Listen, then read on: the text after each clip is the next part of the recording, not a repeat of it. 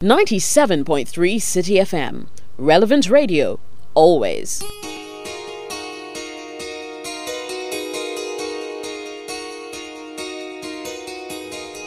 The pineapple export sector has thrived since the early 80s up to today. It has a very rich history in terms of capacity to export until the mid 2000s when the global demand for the variety we were used to, that is the smooth cayenne, or also called the West African variety, was changed to the MD2 or the extra sweets. It meant that in 2005, Ghanaian exporters of pineapple had to shift from the old variety we knew to this new variety, which was now in demand worldwide.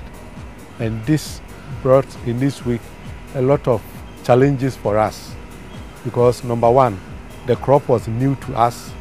Technically, we, know, we are not too competent in this management in terms of agricultural practices and post-harvest management. Number two, the planting material was not available in the country and it, it had to be imported at a very high cost.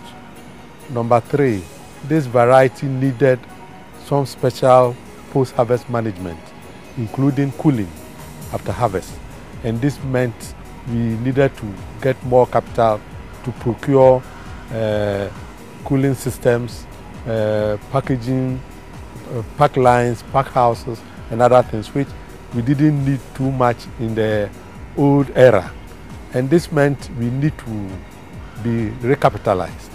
And it has been very difficult for the sector operators to obtain uh, the appropriate capital to do the right investments, to be able to get to the productivity levels that will make us more, more profitable.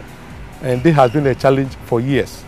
And because of that, uh, our uh, production and export has come down about 50% from the mid thousands to today. We're still struggling to overcome these challenges.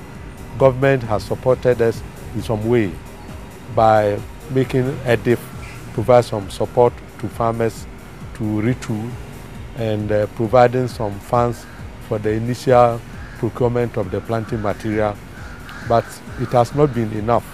What we need to do is to get a special finance package for a period of, let's say, five years, six years, to be able to turn around the situation so that the exporters can be on their feet as we used to be, so that we can then come back to the profitable levels.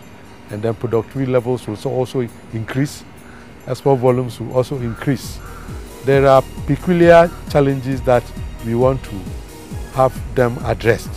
Apart from the financial packages that we need for the retooling, uh, this particular variety demands more moisture than rain-fed, which means we have to do some little bit of water development and irrigation in the growing areas. And it has not been easy to get funding to do that.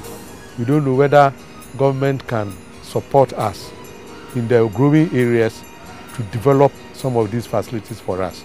Then we can all buy into it and pay over time.